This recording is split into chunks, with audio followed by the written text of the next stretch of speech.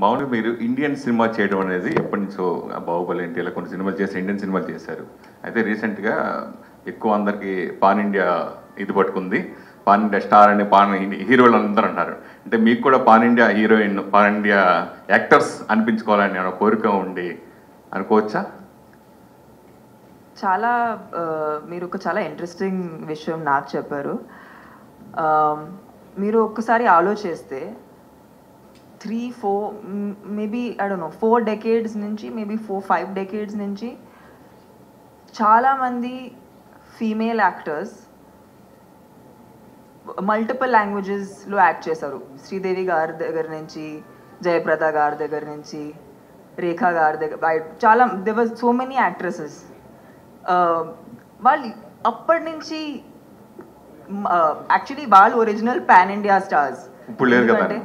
అంటే అప్పటి నుంచి వాళ్ళు చేస్తూ ఉంటే అప్పుడు ఎవరు నోటీసే చేయలేదు. ఒక అమ్మాయి అనేది ఇన్ని లాంగ్వేజెస్ చేస్తుంది.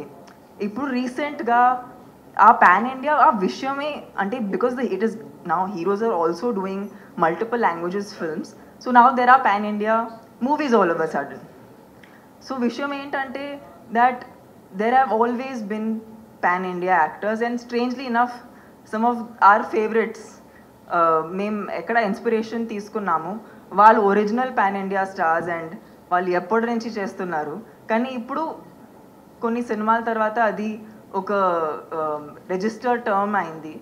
సో ఐ డోంట్ థింక్ ఒక ఒక యాక్టర్ చూడాలంటే ఏ క్యారెక్టర్ తీసుకున్నా దానికి జస్టిఫై జస్టిఫై చేయాలి. But one one thing is very sure ఈ టైమింగ్లో ఒక యాక్టర్ ఉండి we can't let a language decide a film మనం ఇండియన్ స్టోరీస్ చెప్పాలి ఆ స్టోరీస్లో ఆ రూటెడ్నెస్ చూపించాలి.